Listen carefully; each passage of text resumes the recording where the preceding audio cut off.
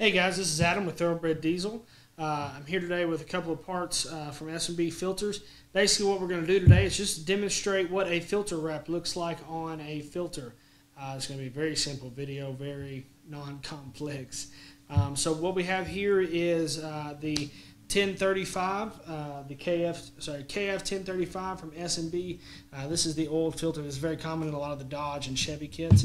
Uh, and then we have the filter wrap, which is WF 1023.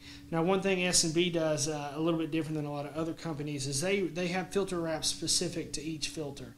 Uh, so if you've ever tried to put on a filter wrap from other company and you're like me and you had a heck of a time putting it on, this is much easier. We're going to demonstrate that real quickly. So um, very simple and get your uh, your filter wrap here. Basically, it looks like a huge hairnet. Just flip your filter over, and you just start sliding the elastic over.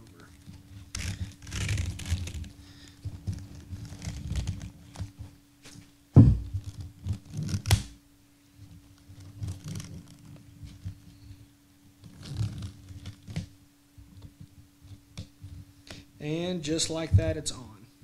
And so if you're like me, you tried any other filter wraps, uh, this is a very impressive as to how quickly and how easy it fits, and it fits correctly. So uh, this is a very good uh, option for those of you that are in uh, areas that you have a lot of high debris that gets caught up in your filter.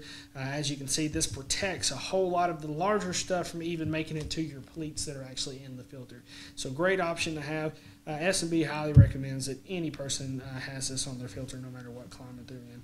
Um, so if you have any questions on filter wraps or S&B filters or any other products S&B has, feel free to post them in the comments below.